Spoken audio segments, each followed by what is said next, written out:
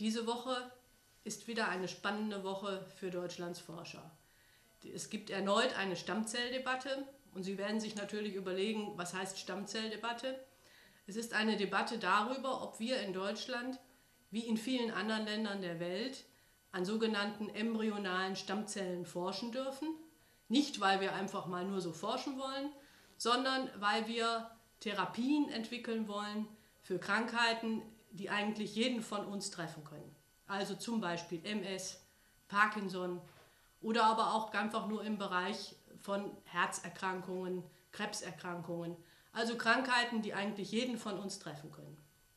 Der Deutsche Bundestag macht etwas Ungewöhnliches. Es ist eine Debatte, die in dieser Woche stattfindet, die nicht an Fraktionsregelungen gebunden ist, sondern jeder Abgeordnete tut das, was er eigentlich immer tun sollte, er ist nur noch seinem Gewissen verantwortlich. Und das heißt, dass es Anträge geben wird, die über alle Grenzen der Fraktionen hinweg die einzelnen Kollegen wiedergeben.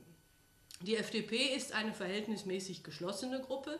Zwei Drittel unserer Fraktion wird mit Kollegen von CDU, von SPD, aber auch von den Linken einen Antrag vertreten, in dem wir dafür eintreten, dass ein sogenannter Stichtag fällt, der vorschreibt, bis zu welchem Zeitpunkt embryonale Stammzellen gewonnen werden dürfen, die in Deutschland eingesetzt werden.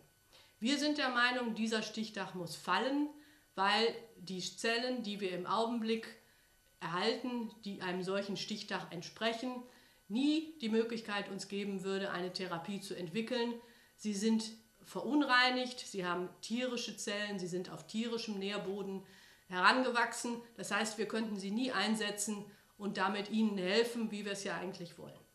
Die Gegner unseres Antrages wollen eine solche Veränderung nicht, weil sie der Meinung sind, es sollte überhaupt nicht an embryonalen Stammzellen geforscht werden, das sei eine Verletzung der Menschenwürde. Sie sehen, es ist eine ungeheuer schwierige Gratwanderung. Wir vertreten mit unserem Antrag die Ethik des Heilens. Wir sagen, unter sehr strengen, kontrollierten Bedingungen wollen wir Therapien entwickeln, die uns allen helfen.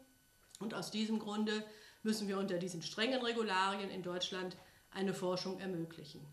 Ich denke, es wird eine ungeheuer spannende und auch hochemotionale Debatte werden. Wie es ausgehen wird, weiß im Augenblick noch keiner. Die letzte Debatte zu diesem Punkt wird im März stattfinden, sodass wir Ostern wissen werden, ist Deutschland ein Land, in dem geforscht werden darf, wie wir es uns vorstellen, oder ist es nicht?